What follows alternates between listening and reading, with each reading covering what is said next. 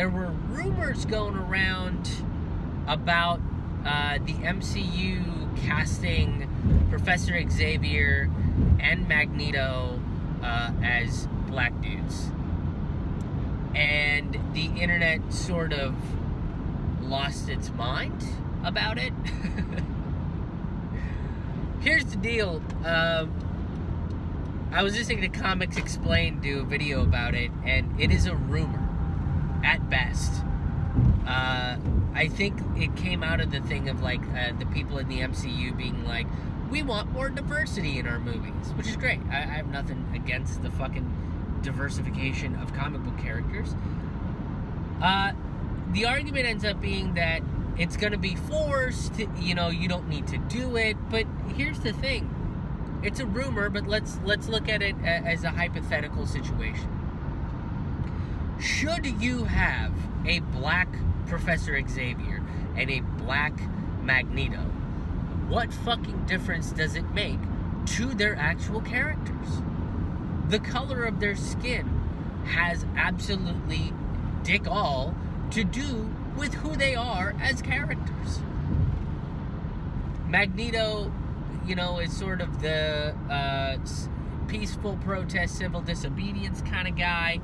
Uh, even though he kind he he runs a school that also mildly operates as a covert ops mutant operations group.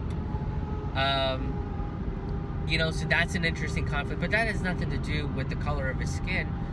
You know, at no point in the comic books is he like, as a white man, I feel like we need to take down uh, this religious fascist organization. Like he's never fucking had to say that in the comic books ever. It's never been a point of uh, point of you know uh, his character.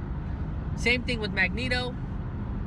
Uh, and a lot of people are like, well, Magneto can't be black because he is a uh, Holocaust survivor from Poland that was in World War II. And it's like, okay, that you can you still can have that. You can still have him be a black Jewish Polish guy. Right? Like he could have been like that that's still realistic. They the I'm pretty sure the Nazis still fucking hated black people. And if you were black and Jewish, whoo, whoo, I don't think there are any Nazis that are also fans of Lenny Kravitz. You know, like this, that just doesn't fucking exist. You know, like there aren't any Nazis that are just like, oh boy, hate those blacks and Jews, but man, that's a good rendition of American Woman by Lenny Kravitz. That guy, huh? What a talent.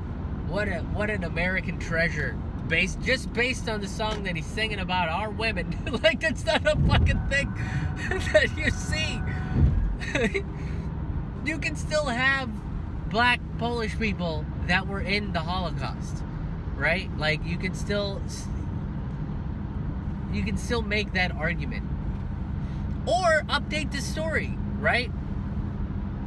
Maybe in the MCU because of when mutants are being introduced uh, he is a survivor of some other fucking genocide that could have happened. And he just happens to be black and Jewish in a country where, where Jewish people were persecuted. Update the story a little bit. That's fine. It doesn't have to. You, the, the big thing with these comic book characters, like, it's not like the books. It's not like the comic book panels that I read and envisioned and if it's not like it, it's a travesty. it doesn't have to be. I'm a comic book fan, and I used to read comic books all the fucking time. And I don't want to see the comic book frames exactly depicted on screen. Some of them are cool, like it was dope as fuck to see that one comic book panel with Captain America and Iron Man. That's fucking dope. It was cool. But I didn't want to see Civil War frame by frame. That's not. That wasn't. That's not what made that movie fun. You know? It's a reimagining. Tell me an interesting story. And you can do it. Your skin color has no bearing on their characters at all. and I think I think by having uh, by by having a uh, uh, black Professor X and a black Magneto might make the civil rights connection a little stronger. You know, really connect them to MLK and Malcolm X. That would be kind of cool, I think. But these people that are just like, you're fucking up the characters. It's ruining comic books. It's not. Relax. Chill out. Enjoy the story. Enjoy the story they've developed in this new world that they've created. You know, that's really what it is. It's a new world that they've created, and you should enjoy the story. Uh, I wouldn't mind. I wouldn't mind at all. If they fucking did that shit. Uh, I would not mind a black Magneto or a black Professor X. And or, if it's both of them, great. If they made Cyclops black, I wouldn't give a shit. You know? And then the opposite reaction is like, what, what if it was Black Panther and he was, uh, it was like all white people? Well, okay. Uh, I think in that instance, the color of his skin does play a role in who he is as a character. He's the king of uh, of an African country, right? That that aspect of it does make sense. Bishop, for example, I don't I don't know if Bishop is particularly a character whose uh, the, whose skin color has something to do with his character. Maybe it does, and correct me if I'm wrong, but let's say Bishop was cast as a as a white dude, I don't think that would matter at all. I don't think that uh, uh, like it, okay. He still has the same powers. He still has the same goals. So, it's one of those things where in certain characters, in certain regards, the color of their skin has nothing to do with it. So just chill the fuck out.